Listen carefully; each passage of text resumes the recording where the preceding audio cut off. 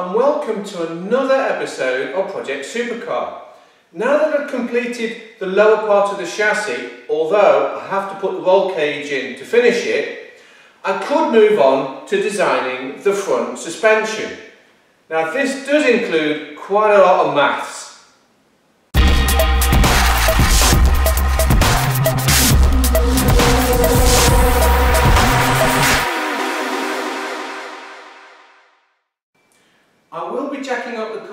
taking off the front wheel shortly to give you a closer look at the front suspension.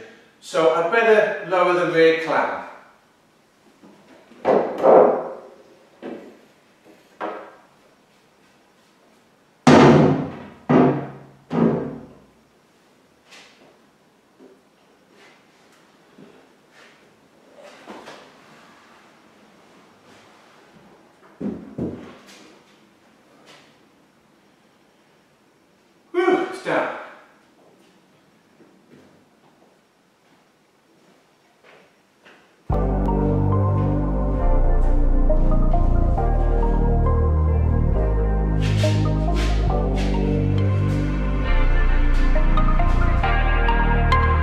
Ryan Little. Japan.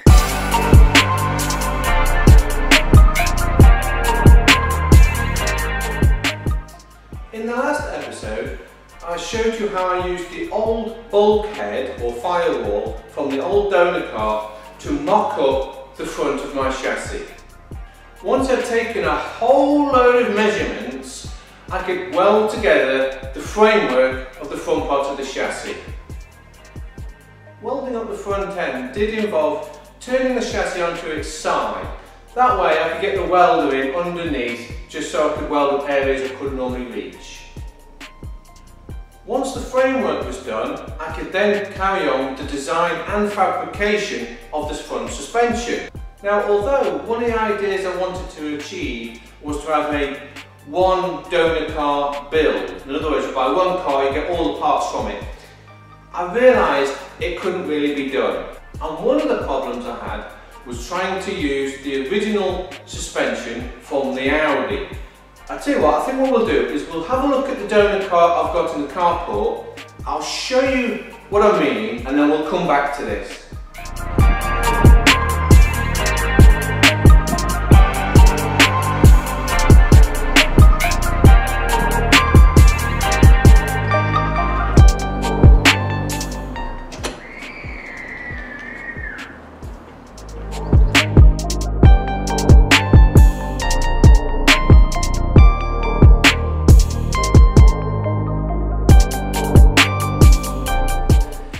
Problem I had with using the front suspension from the donor car, which is an Audi A6, is this bit.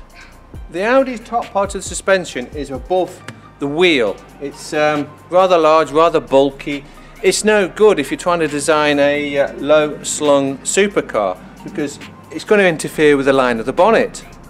One of the things you might notice is that the steering rack on this car is above the tyre and the wheel this arm here connects to the steering rack. Now this proved beneficial for me because as I mentioned in the last episode, I had to cut out a few inches from the floor. I raised the floor up. Well this has the effect of lowering the steering rack and column down, which means it was never going to be able to be bolted back to the original location on the Audi A6. Let's pull the wheel off and have a closer look. With the wheel removed, we can have a closer look. As you can see, the steering rack is quite high up. You've got all this extra suspension stuff which would foul the bonnet on my supercar, so that was never going to work. And then if we take a look at the hub carrier itself, and we'll find that it's all one piece. It's not really something you can cut apart. Well, I suppose you can, if that's what you want to do, but it's not really for the DIYer. And I was also trying to develop a kit, so I didn't want people having to chop into sort of uh, Audi A6 hubs to build my kit. So uh, this was never going to work. And because the hub was no good, sadly this meant I don't think I could use these big brakes. So cutting and welding the hub carriers was off the table for me. But here's a chap who did it with some Mercedes hub carriers. This is a spindle from the E55, the one that I'm planning to use for this car, but in order to use it in that car, I'm going to have to change the location of all these ball joints and basically do a lot of cutting and welding on this. And just to quickly explain how the geometry works on the E55, well, that is also a double wishbone suspension, so there's a, a top control arm that goes over here that pivots on this ball joint, and then there's a lower control arm. Well, the lower control arm is actually split into two in this car. It's something called a virtual pivot. So after this, I cut off the top mounting point of the ball joint for the upper control arm. Uh, this was because I was planning to reuse the same attachment point but just relocate it to the place I needed to place it at. To make sure I positioned the mounting point for the ball joint at the correct position according to like um, where I wanted to place it at, I just used some more scrap metal and I clamped it to the wheel hub and I also clamped that mounting point to this position and I made sure that the measurements were right. And once I had all the measurements figured and I knew everything was in the right place, I just figured out where I needed to cut this and uh, cut the spindle at in order to uh, weld these two things together. And then after that I did some more angle grinding and then cut the spindle off. And after that I applied the weld. It was initially a little difficult to get the weld started because I guess the metal was still a little cold. Here's a look at the spindles after everything is done. Um, after the welding I have given them a quick paint just to make sure that they don't start getting rusted over time. Of course, when you're designing your front suspension for your supercar, one of the issues is the height of the car. I mean, it's a low, slow, sleek car, so you tend to lose a lot of height under the bonnet. Even Koenigsegg had to make a compromise.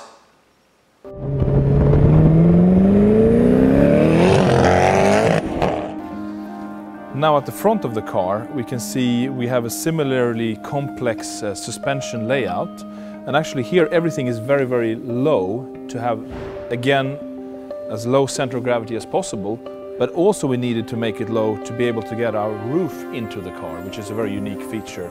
Uh, so we couldn't have anything in, in, the way for the roof to slide it in here. Uh, but it had the side effect of, of, actually also lowering the center of gravity. So that's a perfect example of two needs uh, working together without compromise.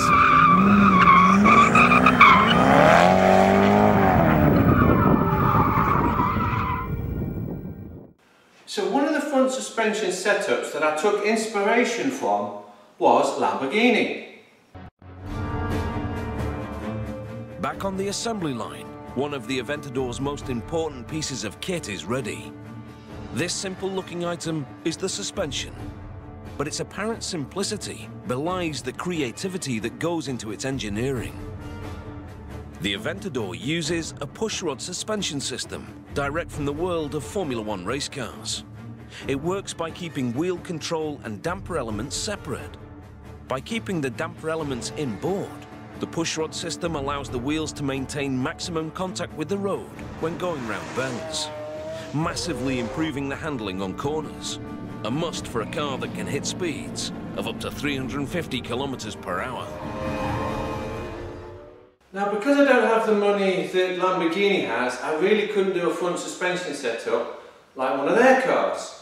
So my design is a little, little bit closest to say a Noble. Well saying that, I don't even have Noble's money either. The Noble build-up is brought to you by 1G Racing, purveyors of the Noble M12 GTO in North America. Well, after the body is set down on the chassis and all the plumbing and all the electricals installed, it's time to put in the suspension. The suspension is fairly basic, but after driving this car, I'll tell you what, Lee Noble got it right on the M12. He hit the sweet spot. It really works. It's a tubular upper and lower A-arm. It's got a hub here that's actually machined right here on Hi-Tech's premises in the CNC room.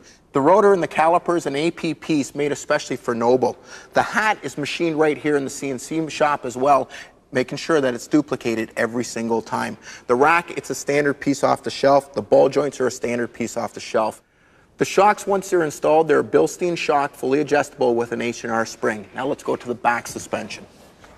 The rear suspension really isn't that much different than the front. We're using a tubular A-arm upper and lower. Again, the hub's all machined here. The rotors and calipers, again, AP pieces. And keep in mind, it's got 13 and a half inch rear rotors as well as on the front. The only difference really to the rear suspension is this bar here, an adjusting bar for the toe for the rear. You got to like how this guy thinks. He's got a tow hook, a factory tow hook on a street car. The other thing is what they're doing is when they're assembling, everything gets checked and double checked. They're using grade 8 hardware, they're using nylock nuts. After everything's torqued, there's an inspection mark put on every nut and bolt. After looking at the suspension, you got to understand this car is built like a race car, and after driving it, you know it performs like one. So now we've taken a look at the Audi A6 standard suspension, I think it's time I pull the wheel off and we take a look at my solution. This car's sitting a little low, so I have to get a scissor jack under the jacking point here, get it up a little bit, and then I can get one of my trolley jacks underneath. With the wheel removed, we can take a closer look at my suspension.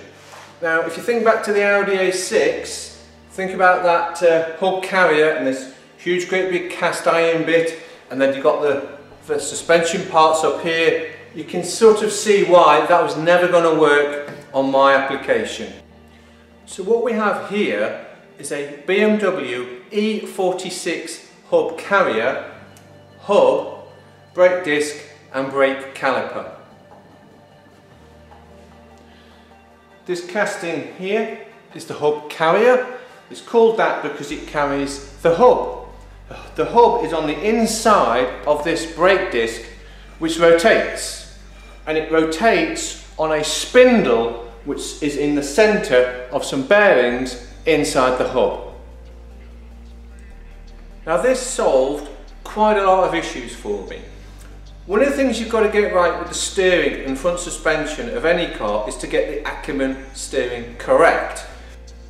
Because the BMW E46 has a wheelbase very similar to my car, it's only slightly longer, and that I've pushed these hubs out just a little bit, the Ackermann steering actually worked out really well on mine. I'll just bring the camera in and take a closer look. So here we have the BMW E46 hub carrier, and this is where the steering arm is on the hub carrier and it's worked out perfectly. It's much lower down. This is the steering arm. We'll get to that shortly. This is a custom lower wishbone, which is adjustable. I've got a custom top hat insert where the original shock absorber used to go on the BMW. This can actually be rotated. I, I actually drilled the hole offset. So you can actually rotate this around and then that will actually be able to adjust the caster on the hub. The upper wishbone is also custom and it uses a upper ball joint from a TVR. This is a custom shock and what you might notice is the shock absorber is above the hub. Now this hub is designed to transfer the weight of the car through the top. So I wanted to continue that on. Also, it puts a great spot for the shock absorber so you can adjust it. Say if you're on a track day or something like that, you can open the front bonnet, get into the strut, adjust it, put the bonnet back down, and away you go. As I've mentioned before, the upper ball joint is from a TVR the gas strut is custom. It is adjustable in height and also stiffness. This custom upper wishbone here is also adjustable here and here for camber. Both the upper and lower wishbone use TVR poly bushes from Super Pro.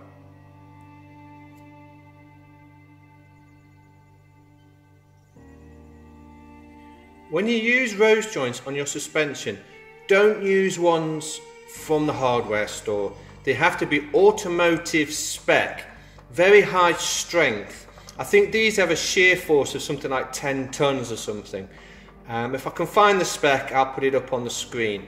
But don't use normal off-the-shelf ones. They have to be automotive spec. The lower wishbone is supposed to be parallel to the ground at all times. Now, when you lower and raise the suspension on most cars, this angle will change. So what I was experimenting with is I put multiple bolt hole locations in these brackets. So if I wanted to slam this car down to the ground, I could move the location of the suspension so that the lower wishbone would always be parallel. This is the steering arm. Now we'll get to the steering rack shortly, but this steering arm has to be parallel with the lower wishbone when the ride height of this car is set.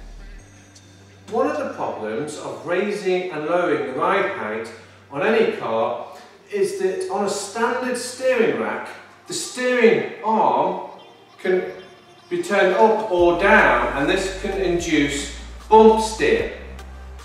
As I've mentioned before, one of the issues of lowering a car or even raising a car by too much will induce bump steer. So what's bump steer? Now take a look at this video. So bump steer is defined as toe change during wheel travel. So as you're driving down the road and hitting bumps, the, the wheels will toe in or out uh, based on the angle of your tie rod end. For our street kits, we use a, a tapered stud that slides right up into the factory spindle and bolts in place, and then your rod end bolts to this. So what to adjust bump steer, we tune the, the spacers here, and it'll change the, the toe travel to get it where your toe stays even the whole way through wheel travel. So these are custom steering pins. They're made out of very high strength steel and can be adjusted so you should be able to tune out any bump steer if you raise or lower the car. One of the good things from the Audi A6 donor car is that it had a center point steering rack. And what this means is that the steering rack arms come from the center of the rack and then travel all the way along out to the hub carrier. Now the good thing about a centre point steering rack is that I can actually lift the point, the centre point, up or down depending on the height of the car. So this ensures that the steering arm is always parallel to the lower wishbone when the car is travelling forward. While we're here, we can take a closer look at the front suspension. You may see this strut brace I put this in to add even more strength to the front of this car. So you see the shock there, the strain if you like, or the g-force is then pushed through this strut brace to this shock. It's a very, very strong system. In the back of my mind, I'm always thinking that if I ever finish this car, I might be able to turn it into a kit that I might be able to, you know, put out there on the open market and see if any of you chaps want to build one. So with that in mind, I have to try and keep the cost down. So everything that I design has to be done so I can replicate it cheaply and easily. One of the things I decided to do was to make the wishbones on this car, the upper one and the lower one, they are the same for both sides. So the lower wishbone is the same as the one on the other side, same for the front. Now to make these wishbones, I had to use a jig. Let's take a quick look. Whew. Well there it is. Now I know this jig doesn't make much sense to any of you watching, but the point I'm trying to make is you can't really make wishbones for your supercar on a bench. You really do need a jig. You have to get them absolutely accurate. They should also be made out of seamless steel and it's preferred to TIG weld the joints rather than MIG welding. Well, it's been sitting in my attic for a few years so it's got a bit of surface rust on it and it's quite weighty. So that was the jig for making both the upper and lower front wishbones and I can see the Audi over there and I know I've got to push it back. Oh.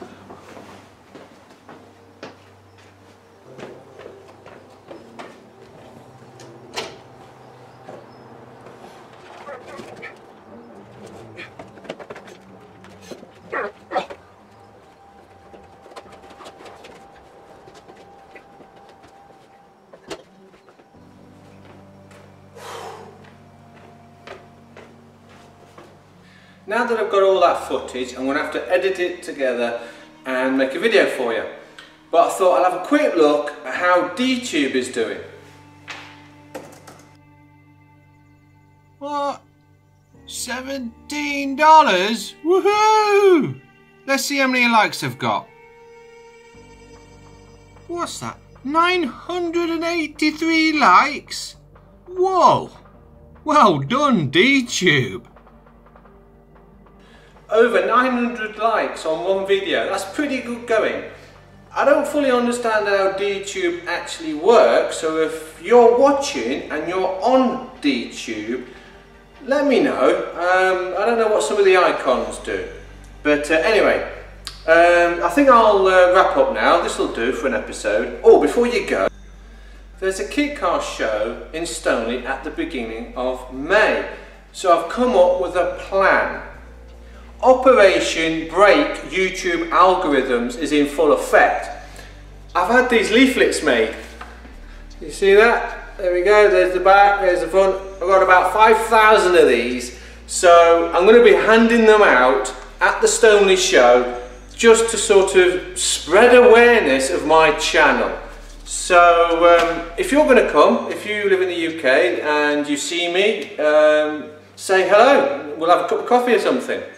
Anyway, that'll do. Um, hopefully this uh, video is not too long and I'll see you in the next one. Bye for now.